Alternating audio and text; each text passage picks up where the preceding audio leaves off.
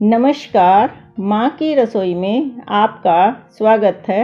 मैं ममता शर्मा आज बनाने जा रही हूँ नारियल नींबू सोडा वाटर। नारियल नींबू सोडा वाटर बनाने के लिए हमें सामग्री चाहिए। पानी वाला नारियल एक, सोडा वाटर आधा लीटर, नमक आधा चम्मच या स्वाद अनुसार, चीनी दो से तीन चम्मच या स्वाद अनुसार, नींबू का रस एक चम्मच या स्वाद अनुसार बर्फ़ आवश्यकता अनुसार सबसे पहले नारियल को चाकू की मदद से काट कर पानी को निकाल लेंगे, जो कि हमने नारियल को पहले से ही काट लिया था।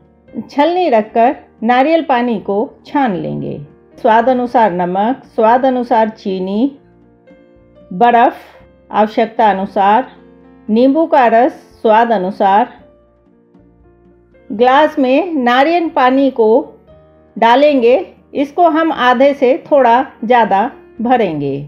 चम्मच से चलाते हुए सामग्री को मिलाएँगे जब तक कि चीनी अच्छे से ना मिल जाए। हमारी ये रेसिपी आपको पसंद आई है तो लाइक, शेयर, कमेंट और सब्सक्राइब करें। यानी कि हमारे चैनल की सदस्यता अवश्य लें। बाकी बचे खाली ग्लास को सोडा वाटर से भर देंगे। और चम्मच से चलाते हुए मिलाएँगे। एक नारियल में लगभग 200 मिलीलीटर पानी होता है। नारियल, नींबू, सोडा, वाटर बनकर तैयार हो चुका है। गर्मियों में यह शरीर को ठंडक पहुंचाता है और लू से बचाता है। नारियल, नींबू, सोडा, वाटर ठंडा ठंडा परोसेंगे।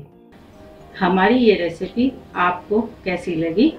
नीचे कमेंट्स में बताएँ, और यदि आपका कोई सवाल है तो उसको भी आप पूछ सकते हैं।